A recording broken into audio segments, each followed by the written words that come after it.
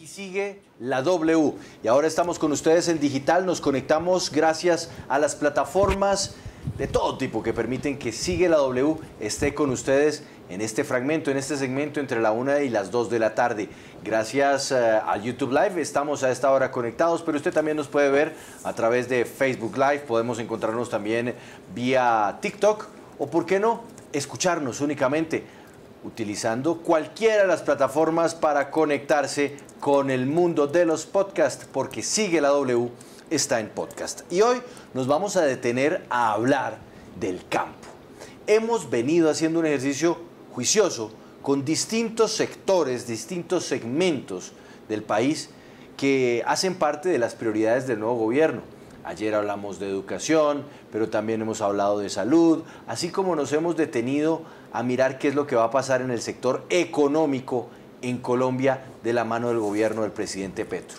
Hoy le toca el turno, Andrea, al campo, al campo, que sin duda el presidente lo ha señalado como una de sus prioridades en este cuatrenio que comenzará el próximo 7 de agosto. Sí, muy buenas tardes, bienvenidos a todas las personas que se conectan a esta hora en Sigue la W en Digital. Hoy le toca el turno al campo, al sector agropecuario, porque además va a ser uno de los puntos claves porque Gustavo Petro desde hace varios años ha insistido en que las condiciones del campo no son justas y que esto impacta, por supuesto, en la economía. Y le tengo unos videos que nos ayudan a contextualizar la importancia que tiene para Gustavo Petro el campo. Que debo decirlo, y, Paola, que además es una persona que ha estado siempre pendiente del tema económico, no me dejará mentir. Es un sector, un segmento de la economía que históricamente ha estado más bien como, primero, entregado a un grupo político, eso no se puede negar, pero número dos, que ha estado como olvidado. Para no ir muy lejos, basta ver el estado de las vías terciarias. Sí, señor, pero usted se refiere específicamente a las entidades como el Ministerio de Agricultura, Partido Conservador Colombiano, la Agencia Nacional de Tierra. Es que el Partido Conservador tiene toda la banderita Sí, señor, ellos han sido históricamente los que han manejado estas entidades, la cartera del Ministerio de Agricultura particularmente, en donde pues se traza, se... Eh, eh, produce toda la política pública con respecto al campo colombiano y sí hemos visto varios rezagos en materia, por ejemplo, de producción nacional, producción agrícola, en donde pues eh, no se ha aprovechado toda la tierra que tiene Colombia para producir y por eso se están aumentando cada vez más las importaciones de este tipo de productos que ahora están más caros, que los insumos tienen unos costos elevadísimos y que por eso se está generando mm. la inflación en Colombia. los alimentos, el rubro de los alimentos es lo que más jalona el aumento de la inflación en Colombia y es precisamente a eso lo que le quiere apostar el gobierno electo del presidente Gustavo Petro. Bueno, pues Andrea, tengo entendido que de hecho el presidente Petro ha hecho que desde el día 1, desde el 7 de agosto mismo, él va a empezar a tomar medidas y anunciar cambios para el campo colombiano. Así que empecemos a ver qué es lo que le espera al campo, a los campesinos y yo creo que es muy importante que también a continuación con nuestra invitada hablemos de agroindustria, porque sin duda el campo hay que verlo siempre en esas dos dimensiones. Sí, y sobre todo teniendo en cuenta, Juan Pablo, que en el gobierno Santos el campo fue determinante porque fue cuando él dijo esa famosa frase, ese tal paro no existe, y cuando los campesinos pues estaban eh, pidiéndole ayuda y también algunas movilizaciones durante el gobierno Duque pues han reclamado mayores beneficios para el sector agropecuario. Y en su programa de gobierno, Gustavo Petro aseguró que se iba a construir la soberanía alimentaria y este video que ustedes van a, apreciar en este momento es de la campaña de Gustavo Petro, donde él vislumbraba que si se llegaba a su posesión, desde el primer día iba a tomar medidas. Escuchemos y veamos. Lo que tenemos que hacer en primerísimo lugar es proteger la agricultura nacional. El presidente de Colombia, Gustavo Petro, el 8 de agosto, se levanta bien tempranito y firma el decreto en donde se elevan los aranceles para cuatro renglones de la economía nacional.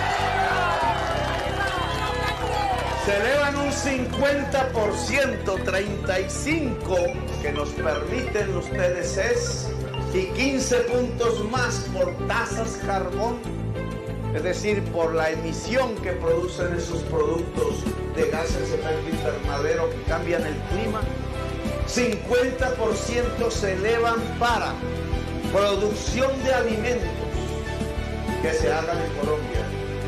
El impuesto se pone a la importación, por eso se llama arancel. Para productos de la agroindustria alimentaria. Segundo. Tercero, para productos de las confecciones y textiles de Colombia. Y cuarto, para productos de cuero y confecciones del cuero. Mire, el candidato Gustavo Petro tenía el campo aquí, entre ceja y ceja, y por eso hizo este anuncio de, ese primer día en aumentar en esta un 50% los aranceles para proteger el sector agropecuario. Y escuchemos esta segunda parte donde dice cuáles serían las promesas si se toman estas medidas para el sector del campo. A partir de ahí, el arroz importado será más caro, el maíz importado será más caro la papa importada será más cara, el café importado será más caro, pero crecerá el arroz de Colombia, el maíz de Colombia, crecerá la papa de Colombia, crecerá la producción de alimentos de Colombia. Y a partir de, ahí, de eso se pueden llenar los campos de las tierras fértiles del país con producción alimenticia. Bien, esto es lo que dice entonces Gustavo Petro, eh, ahora presidente electo. Ahí se nos filtró otra vez la, voz de Gustavo Petro que con sus propuestas más adelante. Pero bueno, entonces para aterrizar estas promesas de campaña, queremos saludar a quien es la líder del equipo de empalme de Gustavo Petro, presidente, con el gobierno de Iván Duque para el sector específicamente agropecuario. Ella es Jennifer Mujica, abogada, experta eh, y analista en todo el tema de tierras. Además fue subgerente del Coder. Jennifer, gracias por acompañarnos a esta hora aquí en Sigue la W en Digital. Gracias eh, por la invitación y por darle relevancia a este tema.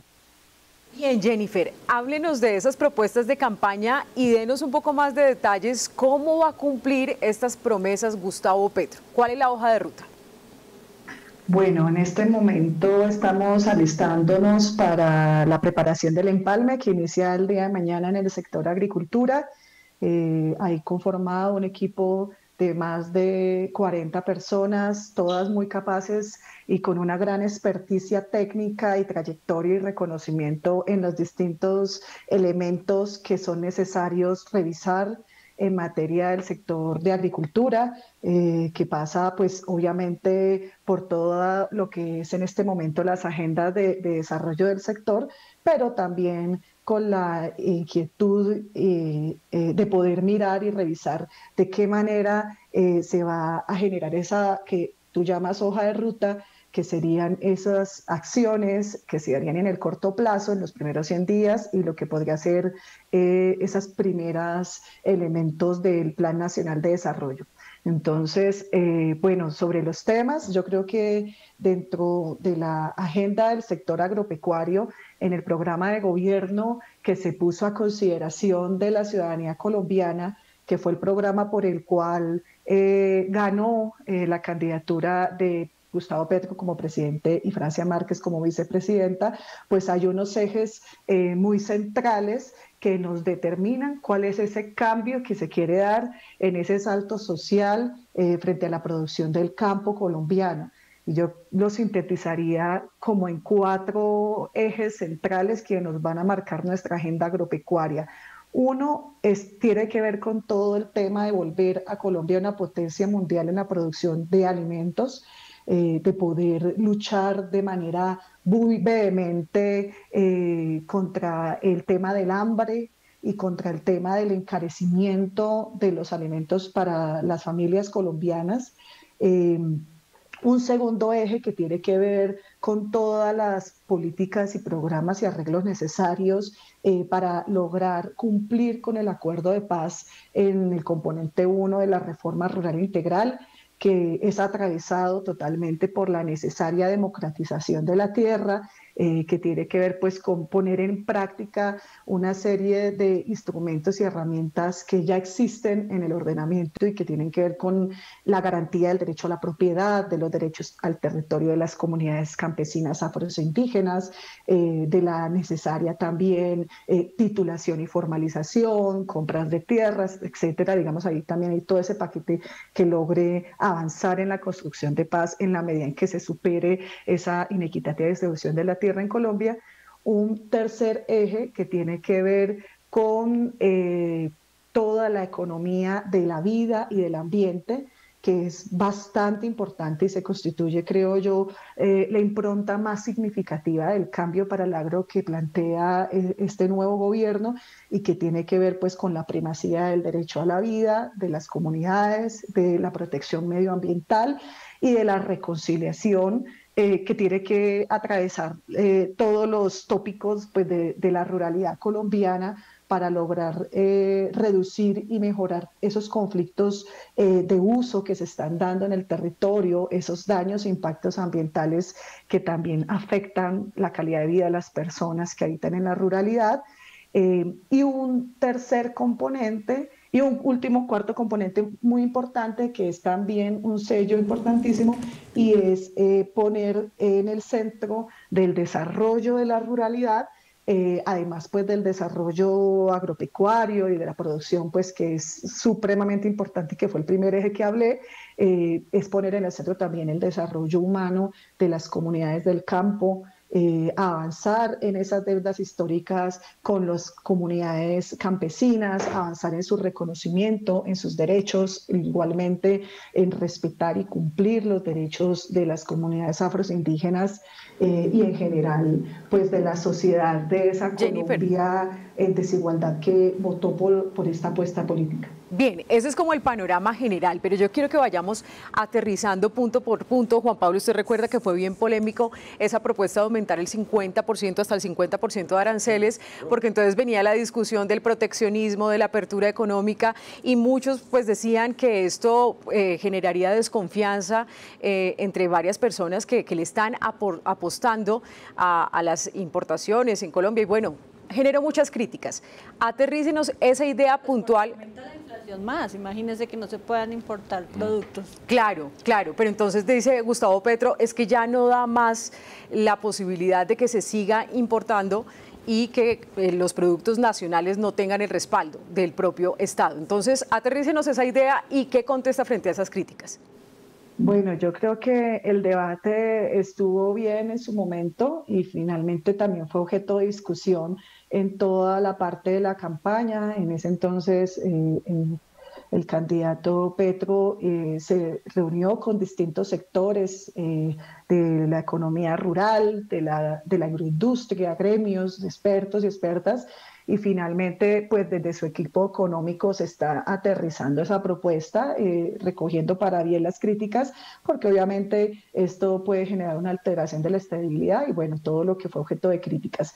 En síntesis, yo creo que es necesario revisar y esto lo tendrá que hacer en su momento, pues las personas que queden designadas ya en el nuevo gobierno, tanto desde la cartera de Agricultura como de Hacienda, eh, bajo un criterio de responsabilidad eh, de la agricultura nacional, cómo se podría hacer.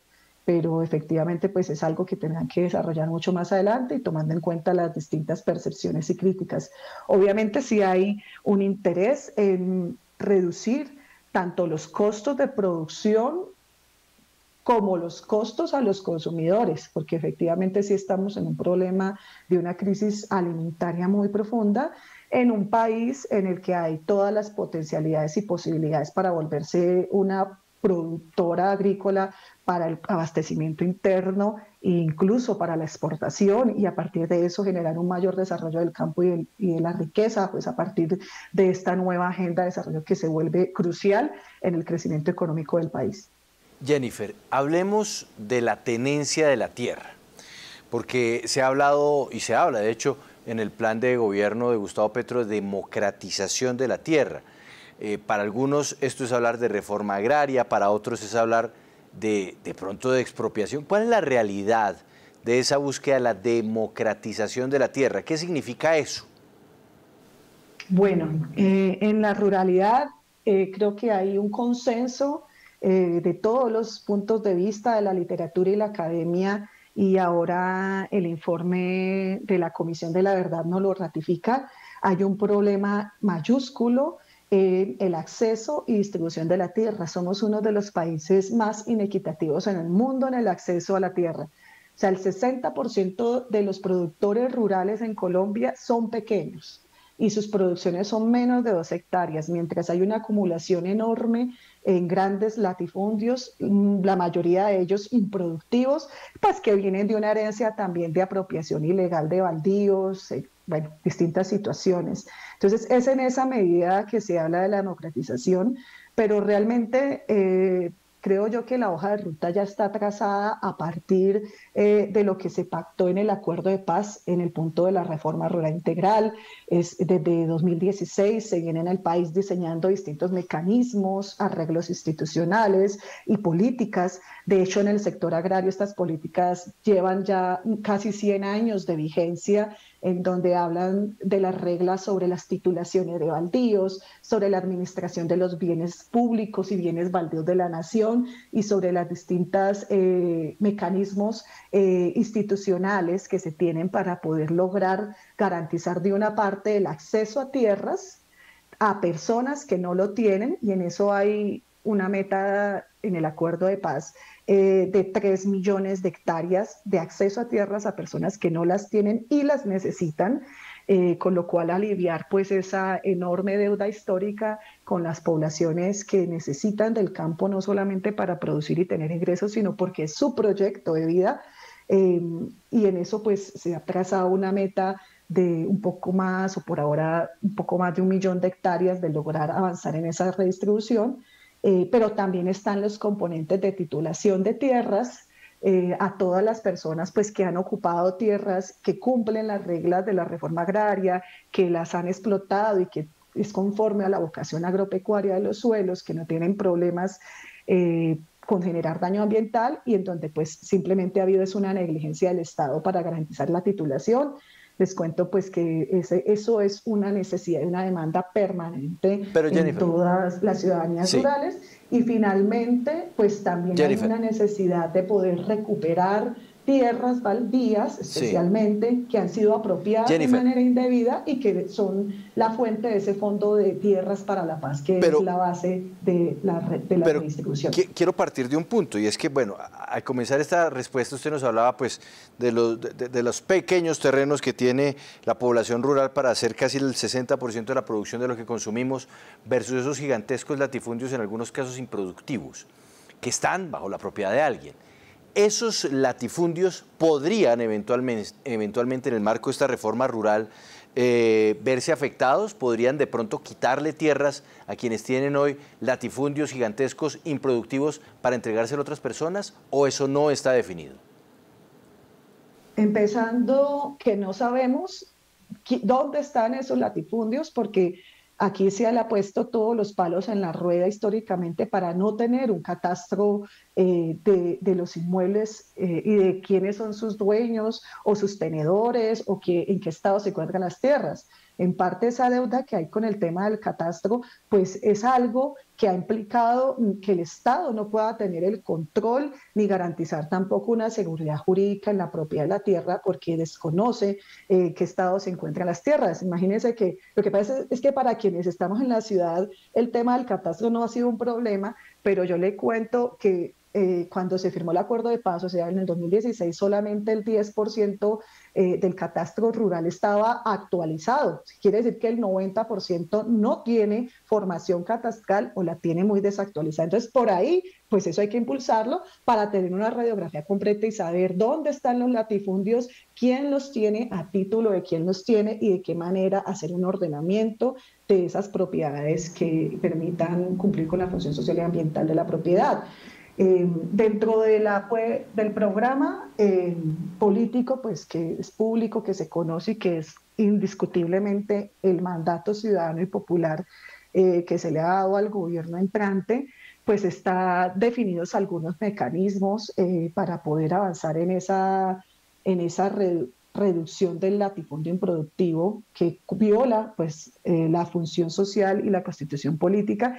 Y son mecanismos que tienden a impulsar eh, el aprovechamiento económico y el uso productivo adecuado y sostenible de las tierras. Entonces, hay muchos instrumentos y eso tendrá que ser objeto de desarrollo por quienes lleguen al nuevo gobierno, porque yo estoy solamente en la comisión de empalme, Em, pero hay muchos instrumentos que apuntan a ello. Entonces, el presidente Petro ha hablado, por ejemplo, eh, de los instrumentos eh, de los impuestos, ¿no? El impuesto predial, al momento en que se haga la actualización catastral, va a ser un instrumento muy importante para desestimular ese latifundio improductivo.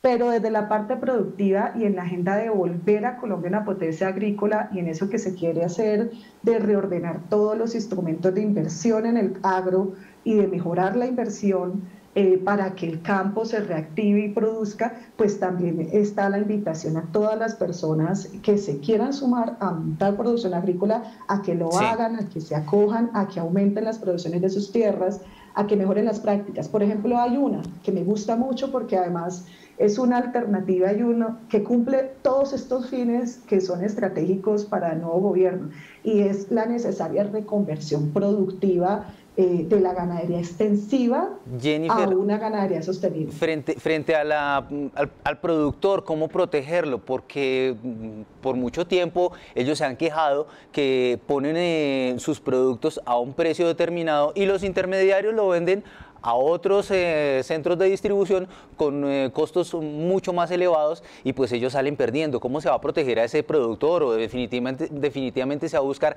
eh, terminar con ese intermediario y que ellos puedan vender directamente a los distribuidores? No, usted ha tocado un punto clave y es que para poder reducir la inseguridad alimentaria en la que estamos, o sea, una de cada cuatro familias en Colombia no come tres veces al día, es una realidad. Em, y el encarecimiento pues que todos sentimos en nuestros bolsillos, ¿no? Eh, del acceso a alimentos de calidad, eh, a proteínas, a todos los grupos alimentarios que se reducen dado el alto costo, pues un problema clave es el tema de los costos de la intermediación. Hay casos de verdad que uno dice se caen de su peso, por ejemplo, cebolla.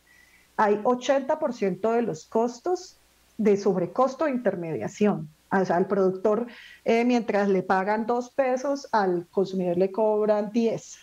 Y, y no se baja de 40 a 60, sí, entre 40 y 60 puntos más o menos en los sobrecostos en todos los elementos de la canasta básica y eso lo estuvimos analizando eh, desde el equipo programático. Entonces, ese es uno de los temas que hay que tocar y en eso pues se ha planteado muchas cosas y en el programa está eh, de una, de primer punto, hay que lograr invertir el sector agropecuario a tender hacia bajar los costos de producción a los productores familiares, campesinos, medianos y grandes. O sea, ahí hay un paquete que encarece la producción alimentaria en el país, que tiene que ver con insumos químicos, fertilizantes y demás. Entonces, hay un paquete de medidas de alivio para ello y un problema pues que hay frente al tema de los insumos y que se encareció pues dado el tema de, las, de, de, la crisis de importaciones.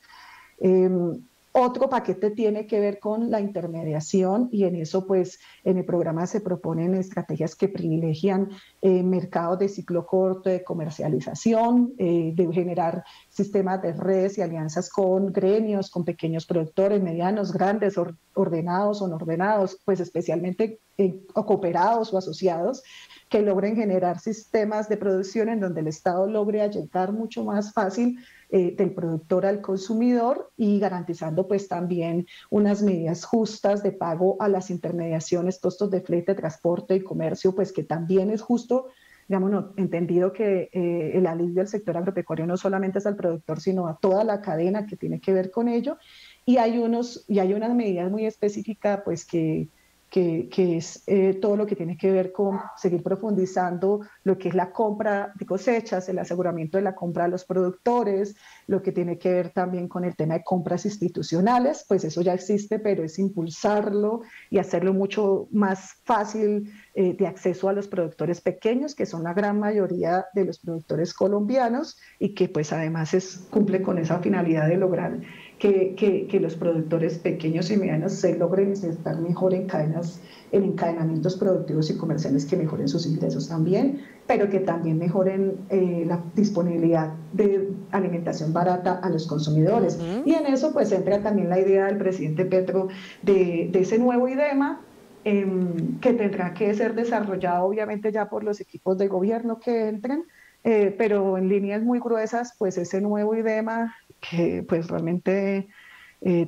tendrá que ser totalmente nuevo, claro. pues tiene que ir ya más pensado no en la época setentera donde fue creado, el cine actual, pues como una entidad más moderna, ¿no? que busque mejorar el, o impulsar el desarrollo agropecuario y la industrialización de alimentos, pero que también logre eh, incorporar diversas herramientas para hacer pues que ese producción llegue al consumidor de una manera más, más rápida y menos costosa.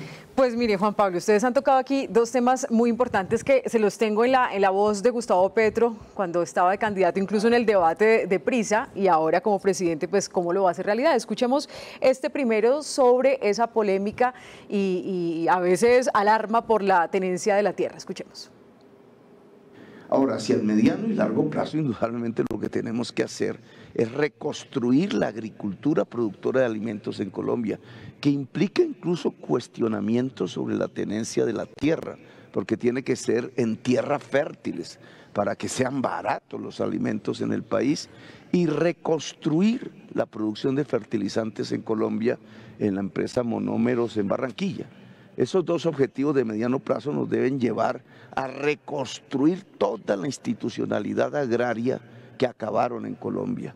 El, ICA, el IMAT para los distritos de riesgos, el IDEMA para compra de cosechas y venta, el INCORA para democratización de la tierra con compras estatales de tierras fértiles, etcétera. Un Estado amigo del campesino una alianza campesino-Estado. Y aquí otro de los puntos importantes donde habla de comprar cosechas y aliviar al sector del campo. En el cortísimo plazo es una urgencia. El gobierno debe comprar cosechas a los campesinos y llevarlas a los bancos, a los lugares, al banco de alimentos, a los barrios pobres, reconstruir el IDEMA. Hay que subsidiar ya, de inmediato, Duque podría hacerlo, la importación de insumos. Si abaratamos los insumos un tanto artificialmente con el subsidio y llevamos comida al barrio pobre, resolvemos de inmediato problemas de hambre. Jennifer, estos dos planteamientos, pues sí, hay uno más a largo plazo y el otro dice él que puede ser urgente, que puede ser ya, pero mire lo que nos escriben hasta ahora en nuestro YouTube Live. Sinergia Cadena dice, la venta de cosechas desabastece a las regiones, luego deben comprar en abastos para devolverlo a las regiones tres veces más caro de lo que lo vendieron. ¿Esto cómo, cómo se va a lograr sin que se afecte ese intercambio comercial eh, regional y también sin que se vuelva algo permanente en el tiempo, que es lo que empieza a cuestionarse como unos subsidios o como apagar el incendio, pero permanentemente, no algo más de fondo? Muy, muy buena pregunta. Sí, creo, o sea, nosotros vamos a continuar con, con las propuestas que están funcionando para impulsarlas, pero hay que ajustarlas. Y ese tema que ponen es algo en lo que aquí habría que hacer un cambio y, y está en, en, la propuesta programática. Y es eh, priorizar lo que son los ciclos cortos de comercialización. ¿Eso qué quiere decir? Eh, que no se genere ese sobrecosto, costos de transacción y de intermediación de poder llevar la comida de un lugar al otro y que atraviese pues el país para volver a regresar es más privilegiar el encadenamiento de productores cercanos a, las, a los centros de mayor densidad demográfica o donde también incluso hoy hay una alta escasez o falta de disponibilidad de alimentos eh, saludables. Eh, porque esto también va muy de la mano con esta política de lucha contra el hambre y del derecho humano a la alimentación, que también es una apuesta pues, en el que el presidente Petro ha dado unas instrucciones muy claras y en esa medida es privilegiar la producción cercana en ciclos cortos, donde los alimentos se consuman de manera más local, donde se garantice pues la disposición, en donde se logre acercar cada vez más eh, al productor, a los gremios, a las asociaciones, pequeños, medianos, grandes, a sus plazas de consumo y lugares de abastecimiento locales. Eh, ahí también entra toda una agenda eh, de economía popular, familiar, campesina y comunitaria, en donde entran todas estas iniciativas que vienen desde estos sectores populares, en lo que tiene que ver incluso con estos mecanismos alternativos de huertas orgánicas, de eh, mercados propios, eh, de despensas agrícolas, que ha venido siendo ensayado en gran parte del país y en eso hay mucha experiencia incluso también de la cooperación internacional, en donde vemos que se puede replicar para dar un alivio eh, urgente. O sea, estas son medidas que se tienen que adaptar eh, de manera urgente en la medida en que estamos en una crisis alimentaria mayúscula, en donde es necesario eh, mejorar la, esa proveeduría de alimentos a, mejores costos a la población colombiana y especialmente en las regiones donde hay una mayor vulnerabilidad. doctora Jennifer Mojica, yo quiero hablar sobre un punto que preocupa mucho y, tiene que ver con la plata. Usted ha mencionado en primer lugar, por ejemplo, que invitan a los productores, a los campesinos a que produzcan más, a que aprovechen su tierra, a que se vuelvan pues eh, más auto eh, en el tema de abastecernos internamente todos. Y por el otro lado está la propuesta de comprar cosechas. ¿Cómo, ¿Cómo hacer para conseguir, por un lado, los campesinos más plata para que puedan hacer eso? Porque necesitan tecnología, lo mencionaba el presidente electo Gustavo Petro, distritos de riego, con más, eh, con modernos, por ejemplo. ¿Y cómo hacer por el lado del gobierno para comprar esas cosechas? ¿De dónde van a sacar plata? Sí, y en ese tema eh, creo que es ahorita clave sea, el sector agropecuario ha venido siendo reducido, bueno, siempre ha sido un sector que no ha sido prioritario en el país. Em, eso pasa pues por el cuestionamiento que el nuevo gobierno ha hecho a esa monodependencia del extractivismo petrolero. Entonces, esos otros sectores de la economía que hoy empiezan a relucir eh, dentro del cual está el sector de agricultura, pues tienen que eh, relucir no solamente por los retos, sino también por el cariño y el cariño es dinero. Y en esa medida es necesario, y, ese es uno de los desafíos, que se le haga cupo para el aumento de la inversión en el sector agricultura. en los últimos gobiernos eh, pues ha tenido un problema de desfinanciamiento. Para dar un ejemplo, eh, cuatro de los cinco proyectos de inversión más importantes para el cumplimiento del acuerdo de paz en el sector agrario han estado desfinanciados en el último gobierno en más de la mitad de lo que las entidades han pedido para poder lograr los fines de la implementación del acuerdo y pues eso tiene que cambiar y tiene que tener un mayor lugar en el presupuesto y eso será un tema que tendrán que discutir muy pronto quienes lleguen al gobierno en el sector agricultura de la mano con Hacienda y Planeación Nacional. Em, pero en esta propuesta pues, de desarrollo en el, el tema agrario no tiene que ver o no se ve como un costo social de inversión sino como una oportunidad de crecimiento económico. Eh, con todo y, las, y, las, dificultades que tiene el agro, eh, pues el agro sí constituye una fuente de ingresos importantes para el país y aporta una porción importante en el Producto Interno Bruto. Entonces, en esa medida, lograr que el campo se desarrolle, que se vuelva potencia agrícola, que además tiene con qué hacerlo, eh, que además, digamos, en todos estos temas de mejoramiento de la productividad, eh, que son atravesados pues por no solamente la disposición de tierras, sino de créditos, de financiamiento, de adecuación de tierras, especialmente en temas de asistencia técnica, de lograr desarrollar también temas de infraestructuras, bueno, etcétera, etcétera, innovación, ciencia, tecnología, o sea, en eso la fórmula mágica está más que inventada, lo que pasa es que hay un problema histórico en donde se desarticula la oferta institucional y nunca llega como completa, sino fragmentada. Entonces, pues la idea es reordenarlo y lograr de verdad esas zonas de Colombia que tienen una mayor potencia de desarrollo agropecuario, una mayor actitud, pues poder enfocar allí la inversión pública, aumentándola y con el compromiso y de la mano del sector privado y de los productores poder hacer productivo y en esa medida los recursos eh, van a fluir. En principio, pues todo será una transición y obviamente hay que invertirlo, pero eso tampoco pues es extraordinario. En los países que tienen desarrollada su agricultura, eh, el campo es subsidiado en altas proporciones. Entonces aquí pues va a ser seguramente un gobierno que va a hacer la transición en donde el campo cada vez logre un mayor lugar en, en, en el presupuesto y en la productividad eh, pero pues esperando que cuando esto muestre de verdad resultados, eh, justifique esa necesaria inversión para, para ver cómo crecemos. Eso sí, es indiscutible lo que dice Jennifer Mojica. En los países donde hay un agro poderoso, también los subsidios para los agricultores son poderosísimos, si no es imposible, imposible que el sector funcione. Bueno, pues ya lo que nos hace falta ver es cómo empieza ya a aplicar el nuevo gobierno desde el 7 de agosto todo esto que sin duda es un ensueño para los campesinos y por qué no decirlo, para Colombia, un país que, insisto, desde hace muchos años le, tristemente le dio la espalda al campo. Jennifer Mojica, líder del equipo de empalme para el sector agropecuario del nuevo gobierno de Gustavo Petro. Muchas gracias por estar con nosotros en Sigue la W y darnos estas pinceladas. ¿Cómo?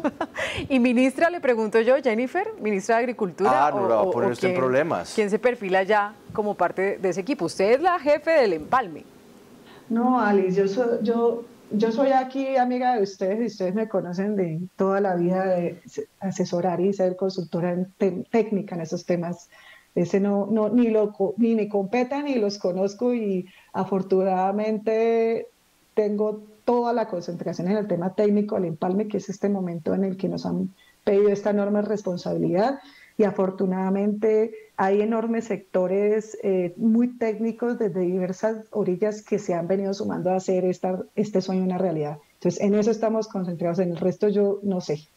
Que el sueño se haga realidad. Jennifer Mojica, muchas gracias por estar. Sonando muy duro es Carlos Amaya, Juan Pablo. Pero hizo fue campaña Rodolfo eh, Hernández. Pero ya lo están poniendo a sonar ah. como nuevo ministro de Agricultura. Obviamente es el sonaje, el dejemos de siempre, la gabinetología. Dejemos ahí, Paola. Jennifer Mojica, nuevamente, gracias. por estar con nosotros en Sigue la W. Buena tarde. Gracias. Muchas gracias. Hablando de noticias económicas, ya nos vamos a ir para Arauca, en donde Mauricio nos tiene una invitada por el hecho doloroso del día en ese departamento del asesinato de un diputado. Pero antes, Paola, noticia económica importante porque eso significa que puede venir un incremento en las tasas para todo. Y es que el Banco de la República anunció incremento en las tasas de interés. Sí, señor Juan Pablo, mire, un aumento eh, casi atípico, 150 puntos básicos, con lo que la, tasa de interés de intervención queda en 7.5%, lo que ha dicho el gerente del banco, Leonardo Villar, y por supuesto el ministro de Hacienda, José Manuel Restrepo. Ya le queda solamente una junta directiva al ministro de Hacienda en el Banco de la República, la del mes de, julio, porque ya en agosto entraría José Antonio Campo, el nuevo ministro de Hacienda, pero han dicho que básicamente las razones por las cuales han decidido tomar esta decisión tienen que ver con el aumento de las expectativas de inflación y el buen desempeño de la economía del país. Pero muy alta, Juan Pablo, queda la tasa de interés de referencia del Banco de la República en 7.5%, 150 puntos básicos más